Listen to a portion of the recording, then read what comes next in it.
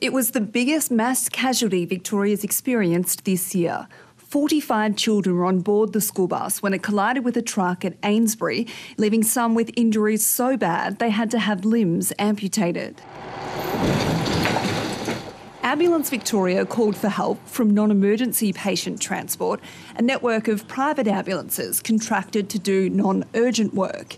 But operators were told at least two private crews were unavailable because they'd called in sick, except they hadn't. They were there that day. They weren't sick, they were on shift, but they were told by their employer not to log in on the Ambulance Victoria system and they were reassigned to do private work for their other contracts. It meant crews had to come from much further away to help take injured children to hospital. We need a strong patient transport sector. Unfortunately, it's failing. The ABC has spoken to three workers who say this incident is indicative of what's happening in the sector every day, with providers dropping Ambulance Victoria shifts for private work, which pays more. And that's putting further strain on our emergency paramedics. It ties up the system, it ties up emergency paramedics, um, and it prevents patients from being exited from the emergency department.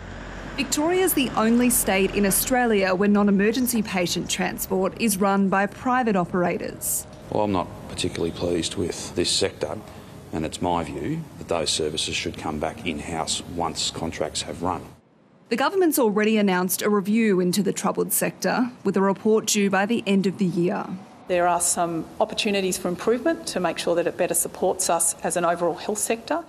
The non emergency provider declined to comment and referred the ABC to Ambulance Victoria, which said there was no shortage of non emergency crews on the day of the crash. Bridget Rollason, ABC News.